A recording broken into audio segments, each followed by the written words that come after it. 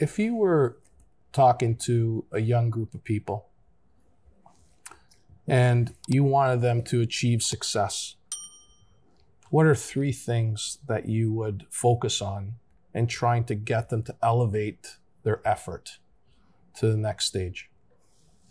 Three things that I would tell a young audience or a young person. Young, a young audience. Oh gosh, um, maybe in no particular order, but the first one that comes to mind is find mentors. Find people who have achieved that which you want to achieve, and emulate them. Because a line that um, a guy named uh, Jim Rohn used frequently in his career. He's passed now. Um, R O H N, if you want to look him up. Um, he, uh, gosh, I'm trying to remember what his exact quotation was. No, but he talks about mem- mentorship. You know, like uh, success leaves clues. That's what it was, right? Find other people who've achieved success, and maybe they drop some clues. You know, even if they don't sit down and teach you, here's how I did it. Just read their biography. You know, study them. Chris, So- it's, it's really interesting about the first tip here because when you ask somebody to be a mentor, they take it very seriously, right? Like they feel that, oh my God, I have a responsibility now to share my successes. And I do believe I have a mentor, um, our Trojan, who I love dearly. Actually, he christened my eldest. And, um, you know, a very successful person in the space. But he took that so seriously and Mhm. always gave me his time. Call me anytime. You ever want to chat? You ever got an issue? Just call me. And and I, I think that's a very, very vital tip right there. Well, and there are two types of mentorship relationships, right? Yeah. Jim Rohn, I never got to meet personally. I would still call him a mentor of mine because so much of his wisdom has impacted my life and my career. So I can consume his learnings, his trainings from Yeah. videos and books, and he's written a ton, right? Um, I had the good fortune of meeting and uh, sitting down with Brian Tracy several times. I'd call him a mentor. I've also studied loads of his programs, Okay. right? Um, Jeffrey Gitomer, I worked closely with, and I've read all of his books as well The little red book. the little red book of selling, Yeah. the little um, the sales Bible, the platinum book of cha-ching, the black book of connections, the green book of getting your way, the yellow book of yes attitude, and a dozen more, right? Um, so some of those relationships, Jeffrey Gitomer, that's a, that's a personal relationship. You know, we text one another. I very much value the relationship I have with this man. Um, Jim Rohn, I never had a personal relationship. I'd still call him a mentor, right? So if success leaves clues, then let's find people who've achieved that which you want to achieve and either learn from what they've produced into the world so far, or if you can, build some kind of relationship. Um, what's that adage? When the student is ready, the teacher appears. But in reality, the teacher is always there. They're just waiting for you to Yeah. Right? That's Now, a great quote. like if you go around saying, "Will you be my mentor? Will you be my mentor? Will you be my mentor?" Like I think that's a problem.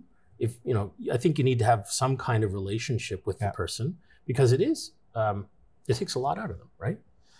Those people whom I do mentor, they're the they're the action takers. When I say go do this thing, they go do it, and they report back like, "I did it. What's next?" And then I want to give them some more direction. But the people that say, "What should I do?" and I say, "Go do this," Well, and then they don't do it. I remember the first time I sat down with you, you, you, you said, from all my years of doing this, the busiest people always have the time to call me back the quickest. Yes, it's so funny, Right when when you're doing your interviews and stuff, you got your list, right? and and uh, I don't think that's by coincidence. And doing this for 20 years and interviewing a lot of people before every single keynote, this trend is con- continues, right? The the the top earners in the company. Uh, and let's let's use sales as an organizer as a metric, right? The, the top salespeople. If I were to interview top salespeople, middle salespeople, and low performing salespeople, and I'd say, hey, give me a list of those folks. I want to talk to some of them. The top ones always call back first and always book their meeting right away and always have 15, 20 minutes to chat. The middle ones will will often book it and usually have to move it.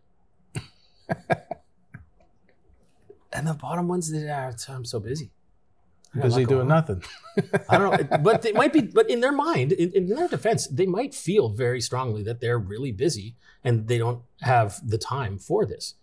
I've noticed that when I make time, heck, when I make time to speak with you, you know, you you really interest me intellectually. Um, your your ethics, your view of the world, uh, your your intellect, your knowledge of the financial services industry in Canada, your connections to other fascinating people, all those I find very intellectually attra- attractive, right? So if you said, "Hey, Chris, I got this thing. Let's sit down and you know do a podcast interview," I had to move some things to make this happen, but I'm making it happen because I want. It's to, appreciated. right? I want. I wanted to do this, um, and I've noticed that when you have those conversations with people who are ex- achieving great things in their life, they will make time for those as well. They're like, you know what? There's value in this. Let's go have a chat. Um, yeah, not everyone thinks there's an opportunity in meeting a new person or deepening a relationship, but I think that's So that's, That's a big that's a big number one. And the other two? Um, well, the second one, I suppose, is related to the first. When I said find people who've achieved that which you want to achieve and then emulate them.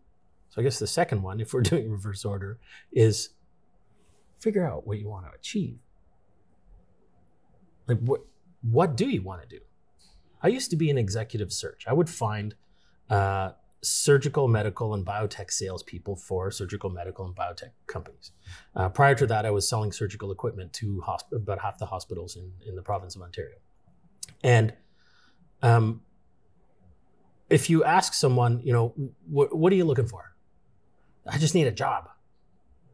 That's really challenging to place that person because we would be charging between 25 and 33% of first year, reasonable first year compensation to find that person. So the company that's hiring the person, we would charge them roughly a quarter of their first year earnings. doesn't cost candidate anything, right?